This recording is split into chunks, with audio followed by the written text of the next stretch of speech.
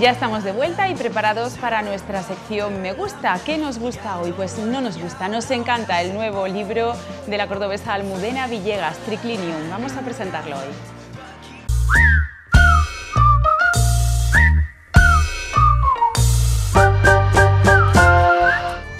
Nos gusta la gastronomía y nos gusta la historia, así que hoy nos gusta la novela que la historiadora y escritora especializada en temas de gastronomía, Almudena Villegas, nos trae a Mira Córdoba.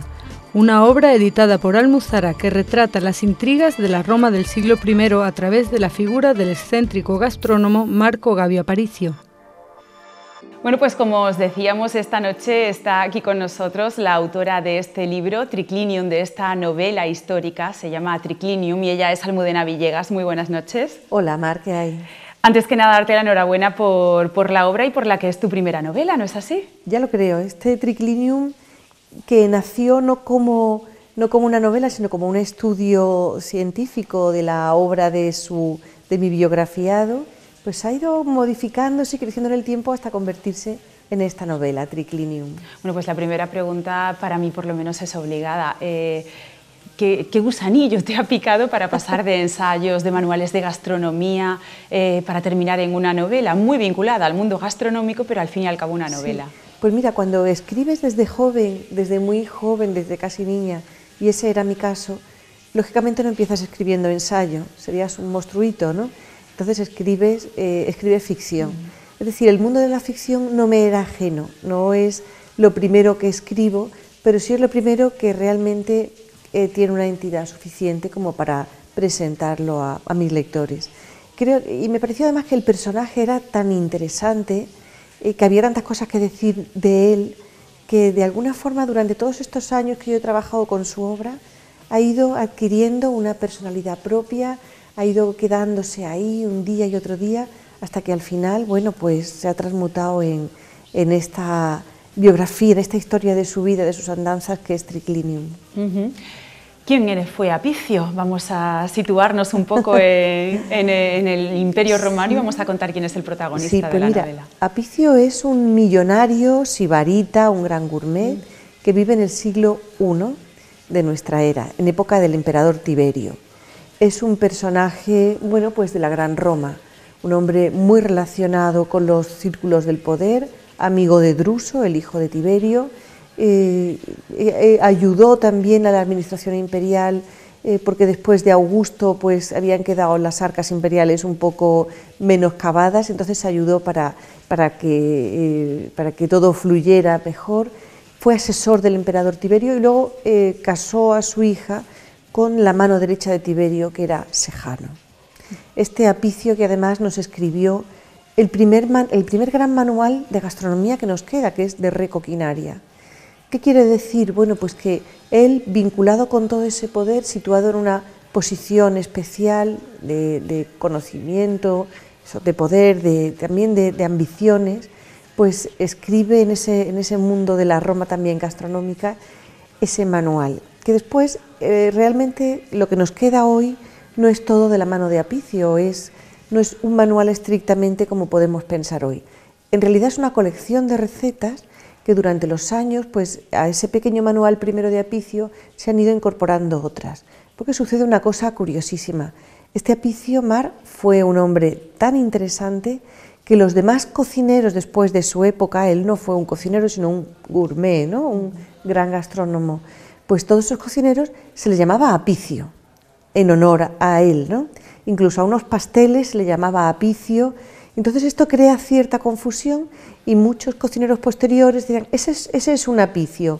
Y esos apicios fueron añadiendo recetas al primer manual, con lo cual ir descifrando a través de la historia cuáles son las recetas originales y las recetas añadidas, pues es también parte de la enjundia de la investigación.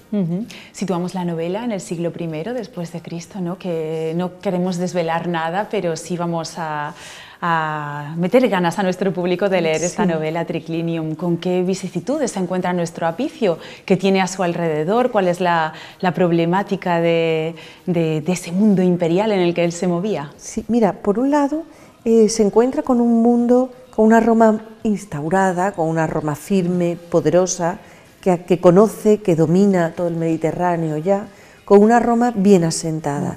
Es un momento de gran poder. Eh, Augusto, Augusto Octavio ha, conseguido la pacificación prácticamente total y Tiberio se enfrenta, ya bastante maduro, porque Tiberio tenía algo más de 50 años cuando accede al poder, pues se enfrenta a una Roma eh, muy amplia, con, un problema, eh, más que problemas de armas ni nada, pues se enfrenta a un problema de administración, especialmente y esencialmente. Y Apicio nace en este momento, en el momento en, que, en el que Roma eh, el que Roma es poderosa, es potente y puede hacerse con ese mando. Justo el, libro empieza el año 21 después de Cristo. Es un momento clave y acaba pues, eh, pues unos años después. Durante todas estas décadas que dura, que dura la historia, pues nos remontamos también al apicio de niño, cómo su infancia tiene relación con la historia ya que contamos justamente. Y, bueno, esa es la Roma en que se encuentra, en que se encuentra mi protagonista, Apicio. ¿Y cómo es él? ¿Qué virtudes tiene y qué defectos tiene? ¿Cómo es él? Qué buena pregunta.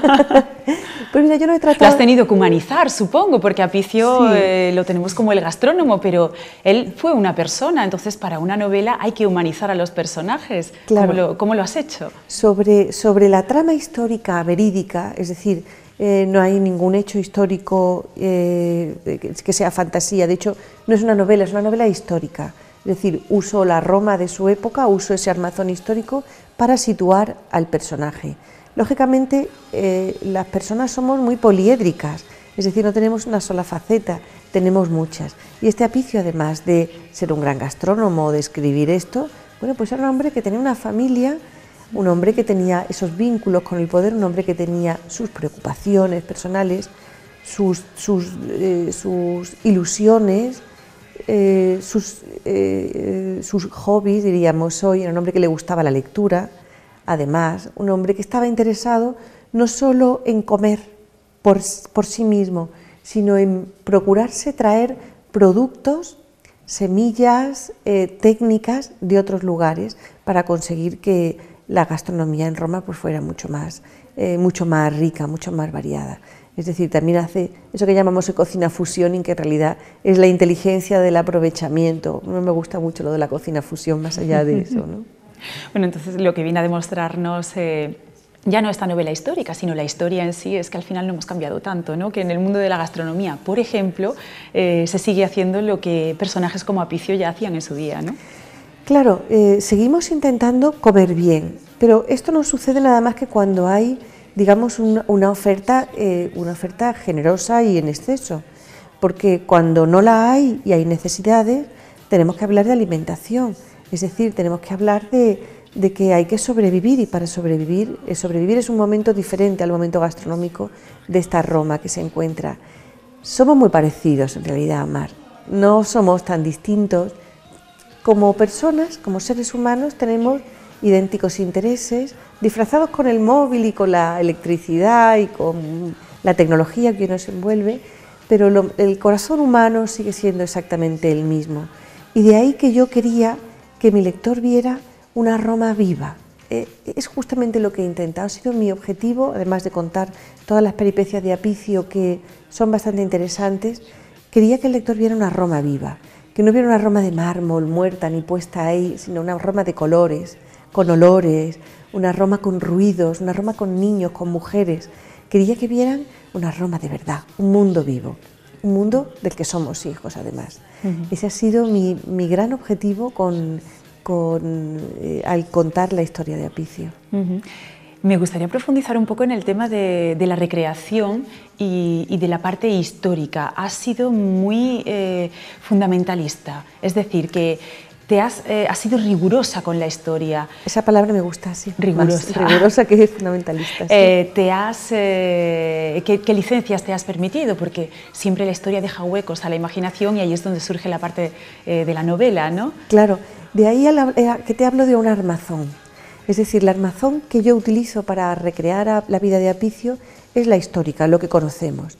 Es decir, sabemos que sus contemporáneos fueron muy críticos con él, eh, conocemos los hechos de su, de su familia, algunos hechos de su familia, conocemos a su yerno, este Sejano, que es un personaje clave en la historia, que es un malvado muy atractivo, pero, pero muy malvado a la vez. Ahí tenemos el villano. Ahí tenemos al villano. Y Apicio, sin embargo, pues no es nuevo ni es un villano, es un hombre de verdad. Yo creo que ese es el interés que yo eh, puedo transmitir a mi lector. Es un hombre polifacético, mm, poliédrico, interesado en muchas cosas y además con capacidad de hacerlas pues porque tenías una cantidad de recursos disponibles a su alcance espectaculares. Ese es el interés de, esa Roma viva y de ese personaje, precisamente, eh, precisamente que sea lo más redondo posible, sin ser un héroe, no es el héroe, sino es un hombre de verdad, con sentimientos, con dolores, con, con pesares y con un final pues que presagia eh, presagiado durante toda la historia ¿no? que avanzamos. ¿Por qué tenemos que leer Triclinium? Eh, ya nos has dado muchos, muchos detalles y muchas pistas de lo que vamos a encontrar en cuántas páginas, perdón. Pues yo creo que son unas 400, te voy a decir que, no, que, no, que, no, las, que no las, sí, pero sí, sí, son capítulos cortos que van contando, que van narrando eh, las distintas situaciones y los distintos escenarios por donde se va moviendo nuestro protagonista. ¿Y por qué tenemos que leerla? ¿Vamos a aprender? ¿Vamos a entretenernos? Eh, ¿Nos va a picar el gusanillo y no vamos a poder soltar el libro de las manos? Mira, yo creo que Roma es un gran mundo que todavía nos queda mucho por explorar. Yo creo que nos va a contar, eh, es una historia situada, para mí es una especie de máquina del tiempo una exótica máquina del tiempo, este libro. Entonces lo que, eh, lo que sí me gustaría es que mi lector, lo que he intentado es que mi lector se, se transporte mediante esta máquina del tiempo a otro mundo que estuvo vivo y que sigue de alguna forma estando vivo por esa semejanza que tenemos entre los dos ambientes. Que, que, que pasee por las calles de Roma en mi máquina del tiempo, que huela, que vea cómo se impregnan los olores, que sienta los dolores, que llore con los personajes. Es decir, que de alguna forma sigamos manteniendo viva un, no un recuerdo, sino un mundo real de una civilización de la que somos hijos. Y que el lector pueda pasearse por esas calles como, como yo las he visto. ¿no? ¿Cómo te has sentido ya dejando al lado? Bueno, antes de terminar con el libro, eh, sí me gustaría que explicásemos, porque habrá mucha gente que no lo sepa. Estamos hablando de Apicio, eh, de un gastrónomo de la época de Roma, pero ahora el libro se llama Triclinium. ¿Por qué se llama Triclinium? Es una palabra muy relacionada con, con, el comer y con, sí, es con, con, el protocolo de, de la gastronomía romana, ¿verdad? Pues mira, porque el Triclinium era justamente el sitio, era el espacio físico y, las, los bancos, la mesa, donde se sentaban a comer los romanos. Se tumbaban, más bien. Bueno, los romanos se, reclinaban. Se, reclinaba un poco como estamos así en el sofá, pero con los pies levantados, con lo cual debe ser comodísimo. Es como cuando llega uno a casa y se sienta en el sofá y tranquilamente levanta los pies. Bueno, pues una postura así parecida. Eso de que los romanos, eh, claro, también quería un poco quitar la leyenda negra de que los romanos se tumbaban, empezaban a comer y comían 250 platos o mil platos y no paraban. Entonces, claro, hay que decir, hombre, cuidado, eh, de alguna manera los banquetes romanos eran una suerte de buffets modernos. Entonces uno picaba lo que le iba apeteciendo, pero no se comía 250 platos uno tras otro en ese triclinium, ¿no? Y, y, de alguna manera era desmitificar también esas, esas historias negras de que eh, enfermaban y se ponían malos y tal, vomitaban, pero después seguían comiendo. Bueno, pues eso es imposible, eso no lo podemos hacer ahora. Ellos tampoco lo podían hacer porque no eran superhombres. En el Triclinium Mar pasaban muchas cosas, porque era el lugar donde se concitaba la buena conversación, la tertulia, también las relaciones sociales. Hoy comemos y tenemos comidas de empresa y tenemos comidas para no solo por placer con la familia, sino también pues para reunirnos y eso hacían justamente los romanos en el Triclinium. En realidad el triclinium es el sitio donde, donde, eh, donde ocurren muchas cosas. El triclinium resume muy bien la gastronomía, el poder, la ambición y todo lo que va eh, sucediendo de esta forma circular un poco en mi novela. Un profesor de la Universidad de Córdoba, Ángel Ventura, especialista además en, la ciudad romana que tenemos en nuestra ciudad, eh, Torre Paredones, que estamos viendo en, los planos de detrás. Eh, me dijo una vez que al romano no había que preguntarle qué cenas esta noche, sino con quién cenas esta noche, sí. porque el triclinium era el sitio donde realmente se dirimían eh, pues muchísimos aspectos de, la política y de la vida cotidiana de la Roma. Claro, además, además el romano entendía la vida de una forma para mí absolutamente sensata y lógica.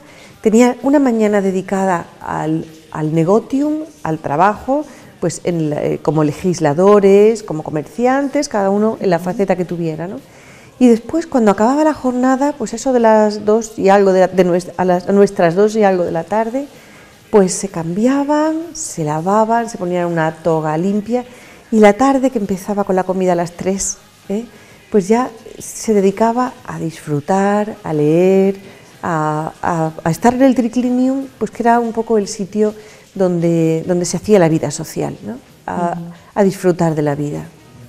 Y ahora centrándonos un poquito en ti, eh, ¿qué ha supuesto para ti escribir novela histórica? ¿Te has sentido cómoda? ¿Repetirás? Eh, ¿Volverás a tus ensayos y a tus manuales de gastronomía? Mira, eh, de alguna manera yo tenía mucho interés en, estudiar distintas fórmulas para, para abordar la historia de la alimentación y la propia gastronomía. Entonces he atacado, es verdad, distintos frentes, siempre con la gastronomía como plato principal o como guarnición en este caso, ¿no? pero eh, normalmente mantengo varios proyectos abiertos, hasta que hay un momento que uno me urge a que, eh, claro que, de alguna forma viven por sí mismos los proyectos, hay uno que en un momento dice, aquí estoy, y entonces eh, ya me dedico a ese y lo termino. Quizás me atreva con alguna otra novela histórica, pero seguramente después de este volveré al ensayo para hacer para rematar un proyecto que sí tengo, que sí tengo entre manos. No ha, sido un acercamiento, pero no ha sido un hola y adiós.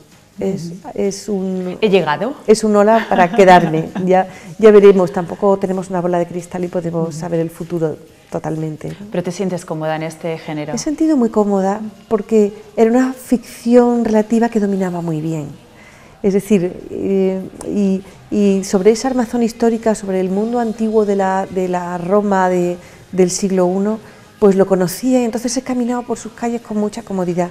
He tenido que poner colores y he tenido que poner caras, he tenido que poner sentimientos, pero, pero después eh, no, me ha sido ajena, no es un mundo que me ha sido ajeno.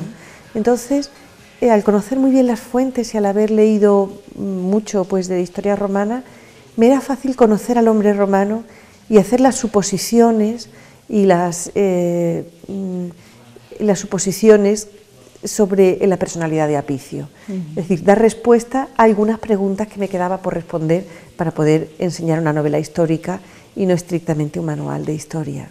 Está alejado del manual de historia. Es realmente un libro, como decías antes, en el que se puede aprender pero en el que uno también debe disfrutar. Es decir, como, como concita esos dos mundos, eh, siempre intento enseñar algo al lector, es decir, los banquetes que narro aquí, pues no son idealizados, sino que son platos reales del libro de Apicio, de Recoquinaria, eh, con lo cual el lector puede acercarse a un banquete real. No, eh, son, son ficticios los algunos caracteres, no todos, porque muchos otros los conocemos, son ficticios los colores, el color de la capa, la toga y las sonrisas, pero después los detalles sobre los banquetes, los detalles sobre la vida cotidiana, los detalles como qué pasa con los niños en el mundo romano, qué pasa con un niño de una familia, de una familia eh, muy rica, muy adinerada, cómo transcurre la vida normal de ese niño. Pues esas son las mm, preguntas que sí tienen respuesta, y aunque el niño le he pintado la cara ello, sus acciones son las de un niño romano de la época.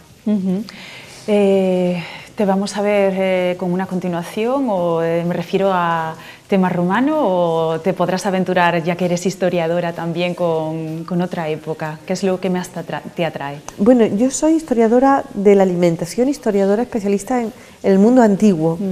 Entonces el mundo romano siento una cierta pasión por él, ¿no? Porque quizá porque cuando vas conociendo algo muy bien, realmente lo que ocurre es que lo puedes contar mejor. No, no es que tú valgas más nada, sino al conocer algo muy bien, lo cuentas. Y si además te estás enamorada de los temas que haces, pues entonces lo cuentas con doble pasión. Eh, seguramente me, me, aventure en otras épocas, pero desde luego el mundo romano es un mundo que me apasiona y el mundo antiguo todavía le hace falta eso, meternos en esa máquina del tiempo para que nos cuente cosas. Y cosas fuera de la Roma de blanca, pétrea, inmóvil y parada, ¿no? sino que nos cuente la Roma viva, la Roma de colores, la Roma de los olores y la Roma en la que a lo mejor eh, podríamos pasar, y podríamos pasar en ese salto en el tiempo de 20 siglos, y a lo mejor no nos sentíamos tan raros, nos sentiríamos menos raros de lo que nos creemos. Y además es la Roma que nos gusta leer a los lectores, que nos gusta sobre todo novela histórica. ¿Cuánto tiempo te ha llevado la, eh, documentación y luego el momento de la escritura? Si has compaginado ambos, en fin, ¿cuánto tiempo te ha llevado Triclinio? Pues mira, Triclin, me acerqué a Apicio cuando empecé en el mundo de la gastronomía, pues en el año, en el año 2002, es decir, lleva un largo mm. recorrido. Y ese Apicio te comentaba al principio que ha ido creciendo conmigo. Ha tenido presencia, ¿no? Ha tenido presencia todo este tiempo, todos estos años. Primero Apicio no me importó nada, me importó su obra de Recoquinaria, eh, que fue mi primera obra, eh, Gastronomía Romana y Dieta Mediterránea, que es un análisis de su recetario, estrictamente, un análisis desde el punto de vista histórico y bromatológico. ¿no? Y después ese Apicio, pues fui, fui estudiándolo en las fuentes comprobé las envidias que creó en su época. Es muy interesante, es decir, un personaje que crea envidias y que crea recelos y que es criticado, mm, pues después de haber hecho tanto por el imperio y por, y por realmente el confort de las personas que le rodeaban, pues me parecía extraño. Entonces eso me hizo que, hace, hace unos años que me acercara un poco más al personaje, a sus hechos, ¿Qué había pasado? ¿Por qué había suscitado todos esos problemas? Y realmente me encuentro con, con unos porqués que son de, los porqués de una gran tragedia y una historia muy importante, muy interesante y, realmente fascinante porque nos cuenta, eh, nos, cuenta los porqués de, un final, no de otro. Pues Almudena, yo me quedaría hablando contigo sobre triclinium y mil temas más, eh, pues toda la noche si hiciera falta, pero ya nos tenemos que marchar. Sobre nuestro amado mundo romano para las dos. Sí, sí, sí, sí, sí. Yo, eh, hay tema de conversación para rato conmigo para eso. Te agradezco muchísimo que nos hayas acompañado, que nos hayas presentado Triclinium, obra eh, que animamos a todos a hacerse con ella y a leerla, disfrutando del Imperio Romano en este caso y de la buena comida también que, que se tenía en aquella época. Porque no, se, nos, se, se, pueden abrir un poquito el apetito mientras lo leemos en algunas escenas. Sí, sí, sí, Pues magnífico. Pero tampoco estará mal. Almudena, felicidades y muchísimas gracias por habernos gracias, acompañado. Gracias, Nara, a todos vosotros. Y nosotros, pues antes de terminar el programa de hoy, eh, os invito a que nos acompañéis a Aguilar de la Frontera, donde han estado este fin de semana de fiesta. Y es que se ha celebrado la cata abierta Semavín, que celebra la cultura del vino. El programa de actos ha estado repleto de eventos con el objetivo de promocionar el sector turístico local, así como las empresas de la localidad y la comarca. Vino, turismo y cultura en torno a unas jornadas que arrancaron con un pregón a cargo de Francisco Córdoba, director del diario Córdoba, y que han realizado un completo recorrido por el mundo del vino, de tanta importancia en la comarca.